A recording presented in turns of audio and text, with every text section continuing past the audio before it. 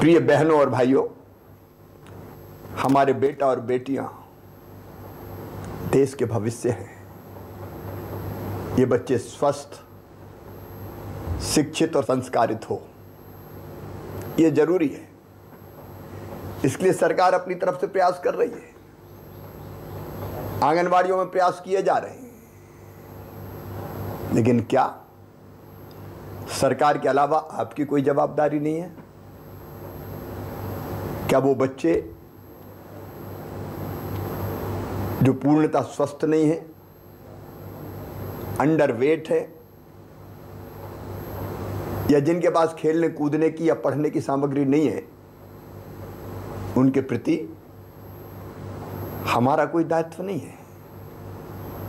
आखिर वो हमारे बच्चे हैं। हमारा देश तो कहता वसुधैव कुटुंबकम। सारी दुनिया ही एक परिवार है तो ये तो हमारे बच्चे हैं। और इसलिए मेरे मन में आया कि हमारे बेटा बेटी स्वस्थ हो, इस अभियान से समाज को जोड़ना चाहिए। स्वस्थ बच्चों के लिए प्रयास एक जन आंदोलन बन जाए।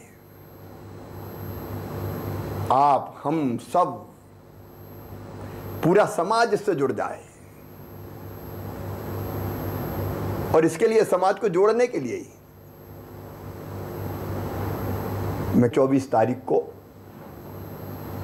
भोपाल की सड़कों पर शाम को निकल रहा हूँ। मैं खुद समाज से अपील करूँगा, सड़क पे जाके कि बच्चों को खेलकूद की सामग्री दें, शिक्षा के साधन दें,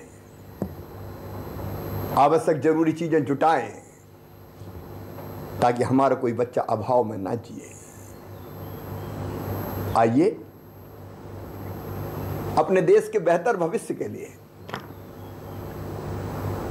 स्वस्थ बालक बालिका अभियान में आप भी सहयोग दें और अपनी आंगनवाड़ियों के लिए आप कोई चीज़ ज़रूर दान करें।